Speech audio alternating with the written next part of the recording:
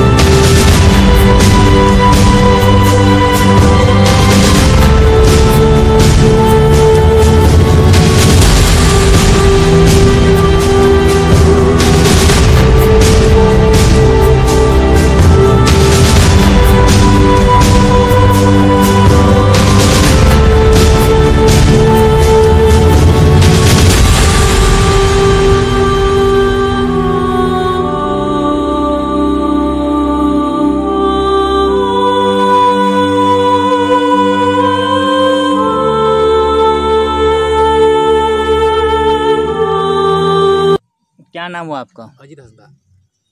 तो आप लोग जो यहाँ पे हिजला में रहते हैं यहाँ मेला साल में क्या बार लगता है? एक बार।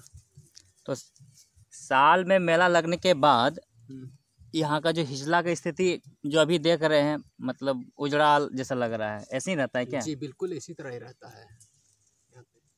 तो यदि हिजला मेला को हिजला मेला को हाँ पर्यटक क्षेत्र में विकसित कर दिया जाता है तो आपको ऐसा लगता है ना कि यहाँ पर आय का एक स्रोत बढ़ता आप लोग आप लोग जैसे लोगों के लिए? जी बढ़ेगा आय का स्रोत अगर अच्छा रहेगा तो आप पर्यटक बनेगा तो। यहाँ तो खूबसूरत नज़ारा बहुत ही है। चारों तरफ़ से पहाड़ से घिरा हुआ है एक साइड नदी है। सरकार इस पर ध्यान नहीं दे रहा। यदि सरकार इस पर ध्यान दी होती पर्यटक के लिए जी जी। तो यहाँ के लोगों के लिए फ़ायदा होता। होता है। तो आपका क्या कहना है? अगर सरकार ध्यान देगा इसकी इसमें तो हम लोग के लिए अच्छा रहेगा। जहाँ सुंदरीकरण भी अगर होगा तो अच्छा रहेगा क्योंकि देखने में अच्छा रहेगा।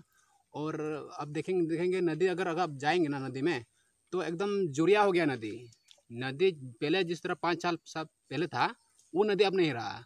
सारा मार्केट का जो पानी रहता है ना हम्म। इतना गंदगी पानी आता है कि वहाँ एकदम अब पीने वाला देखने के का भी पानी नहीं रहा पूरा गंदगी पूरा पूरा गंदगी मतलब काला एकदम हो गया।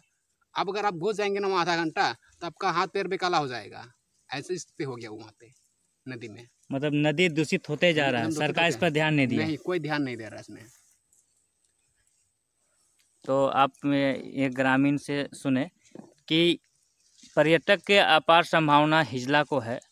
हिजला पे तो सभी आके अपनी राजनीति करते हैं। हिजला मेला देखने भी आते हैं।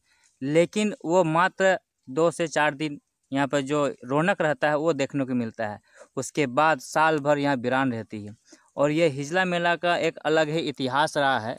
और आज ये नया इतिहास नहीं है, सौ, डेढ़ सौ साल, दो सौ साल पहले का इतिहास है। लेकिन आज भी आज भी जो सुविधा, मूलभूत जो सुविधा यहाँ के, यहाँ की एक पहचान जो है उसे मिलनी चाहिए थी, अभी तक अधूरा है। जैसे कि ग्रामीण बताते हैं कि इधर नदी बहती थी जहाँ वो लोग पानी भी पिया करते थे। लेकिन आज शहर की जो गंदे नाली, गंदगी है, वो बह करके इस नदी को दूषित कर दिया है। अब यहाँ का पानी जहरीला हो गया है। एकदम काला हो गया है। अब ऐसे में बताइए, खूबसूरत आप प्रकृति का नज़ारा आप हमारे चारों तरफ़ देख सकते हैं। ऊँचे पहाड़ है और ऊँची पहाड़ के जस्ट नीचे घाटी पर हिजला मेला लगता है उसके नीचे नदी बहती है। इतना खूबसूरत नज़ारा है। यदि सरकार इस पर ध्यान दी होती और इसे पर्यटक के क्षेत्र में विकसित किया होता तो ज़रूर यहाँ जो हिजला ग्राम वासी है, इन्हें रोज़गार का एक आय का एक स्रोत मिलता, लेकिन ऐसा देखने को नहीं मिल रहा है। क्या नाम हुआ दादा आपका? सुराया। कहाँ घर हुआ आपका? हिजले घर हुआ ना? हुआ। तो ये जो हिजला मेला आप देख रहे हैं कितना साल से यहाँ देखते हैं? ये तो हम लोग कबे से हो रहा है। हौस नहीं है लेकिन देखिए रहे नहीं? हाँ देखिए रहे लोग आता है फीता काटता है नेता लोग वादा करके चला जाता है। हाँ। हिजला मेला जब तक रहता तब ये रौनक रहता है कि सालों भर रौनक रहता है। ये तो हिजला भर रहता है। उसके बाद वीरान रहता है। हाँ। है ना? हाँ। ये तो देख रहे हैं इतना सुंदर सुंदर पहाड़ है गाछ है इधर नदी है। हाँ। इतने सुंदर जगह है। सरकार ध्यान कहाँ देता है इसको सुंदर बनाने के लिए और? सुंदर बनाने से हम ही लोग को तकलीफ़ होगा ना। क्या तकलीफ़ होगा? कैसे नहीं हम लोग का भेड़ बकरी गाय बैल नहीं भेड़ बकरी मतलब वो नहीं है। यहाँ पर्यटक होगा तो आय का स्रोत बढ़ेगा। आय का स्रोत बढ़ेगा कि नहीं? मान लीजिए कि यहाँ लोग घूमने आएगा तो आप लोग का आय का दुकानदारी चलेगा दुकान खोलिएगा। हो सकता है ऐसा? होगा कि नहीं होगा? और सब बताइए खाना पीना खाएँ? खाना तो हम लोग खा के निकले। के गो भेड़ भेड़ है आपका? हम मेरा भेड़ नहीं दूसरे का भेड़ चला रहे हैं। हाँ, यही लगता है। वो हाथ में क्या दिखाइएगा जरा इसको क्या कहते हैं? जो ऊपर उठा के दिखाइए ऊपर उठा के। ऊपर उठाइएगा गुलेट। दिखाइए इससे कौन चीज़ करते हैं? ये सब तो कुत्ता मारते हैं। कुत्ता मारते हैं। कहा है कुत्ता मारते हैं? भेड़ बकरी सब काटता है ना। और करता है? हाँ। क्या नाम है तुम्हारा? क्या? रिफाइल। कौन क्लास में पढ़ाई करता है? फाइव। कौन स्कूल में? राजकोट विद्यालय इंडिया जिला दुमका सदर। पिताजी का नाम क्या है? पापा का नाम क्या है? कहाँ घर हुआ? अभी यहाँ इधर क्या कर रहा है? भेड़ हैं। पलकी चला रहा है। क्या नाम है बाबू आनंद सरन कौन क्लास पढ़ता है? सिक्स। कौन स्कूल में? जिला स्कूल में। जिला स्कूल में? हाँ। अब इधर क्या कर रहा है? क्या करने आया है? गाय चरा रहे हैं। गाय चला रहा है? हाँ। तो बहुत ही सुंदर और भव्य लगता है। राजकीय मेला है। राजकीय मेला का दर्जा ही प्राप्त है। लेकिन यह मेला मात्र दो से चार दिन तक यहाँ पर जो रौनक रहता है, उसके बाद ये स्थान जो है ब्रान होती है। आप इसकी सुंदरता देखेंगे तो ये हमारे पीछे आप देख सकते हैं, पहाड़ है और पहाड़ जो है इतनी खूबसूरत है और उसके नीचे ये मेला लगता है और ठीक आप उसके पीछे आप देखेंगे तो ये हमारे पीछे इधर नदी है तो ये सुंदर काफ़ी खूबसूरत जगह है।